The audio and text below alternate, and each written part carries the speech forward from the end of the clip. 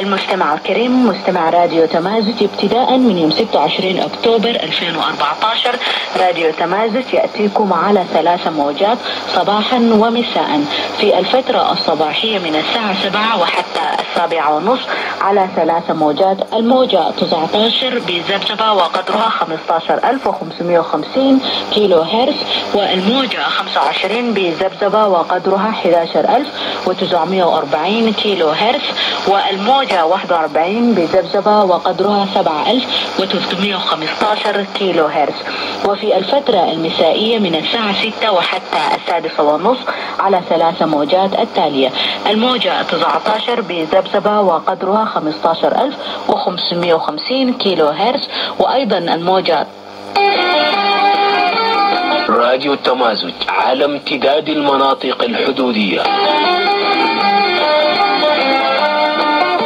تقدم لكم كل يوم الأخبار استطلاعات مناقشات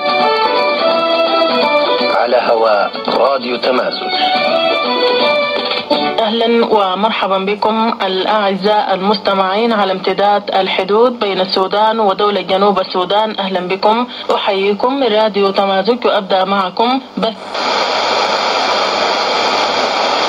30 من يناير للعام 2015 وأبدأ بثنا بنشرة الأخبار إليكم العناوين. زعيمي الحرب جنوب السودان يحضران افتتاح قمة رؤساء دول الإيجاد بأديس أبابا. وزير الإعلام بشمال بحر الغزال يؤكد استقرار الأوضاع الأمنية بالولاية. لاجئو ولاية النيل الأزرق بأثيوبيا يطالبون المشاركة في المفاوضات.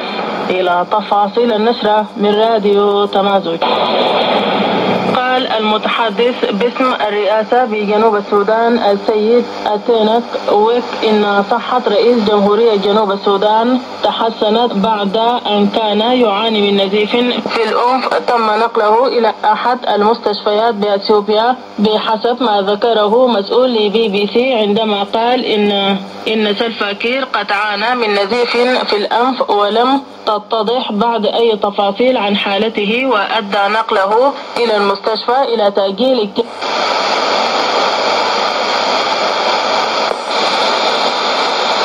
ويرأى السلفاكير البالغ من العمر 63 عام السلطة في جنوب السودان منذ حصول البلاد على الاستغلال من السودان في العام